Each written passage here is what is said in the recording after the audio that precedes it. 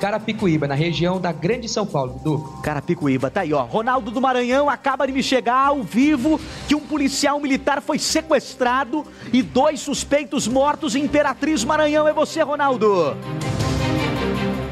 Boa tarde, Dudu. Boa tarde, Brasil. Exatamente, Dudu. Mas, inclusive, infelizmente, acaba de falecer no hospital aqui de Imperatriz, Dudu. O soldado Wallace. Ele foi sequestrado no último final de semana, quando chegava em casa, na sua residência aqui em Imperatriz.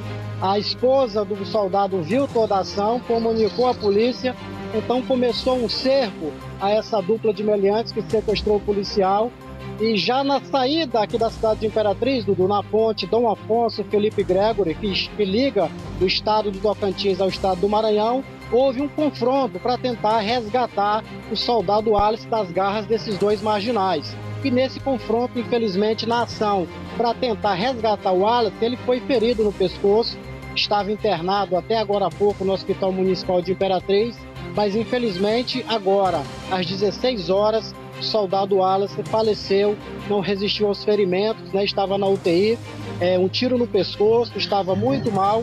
E os meliantes, no próprio dia do confronto lá, em que a polícia tentava resgatar o soldado Wallace, eles foram baleados, foram socorridos na noite ainda do dia 21, mas morreram também aqui no Hospital Municipal de Imperatriz. O soldado Wallace, infelizmente, lutou pela vida até agora há pouco, às 16 horas, mas faleceu, Dudu. Infelizmente, mais um policial aí, vítima da violência que ele combatia na grande Imperatriz do Maranhão.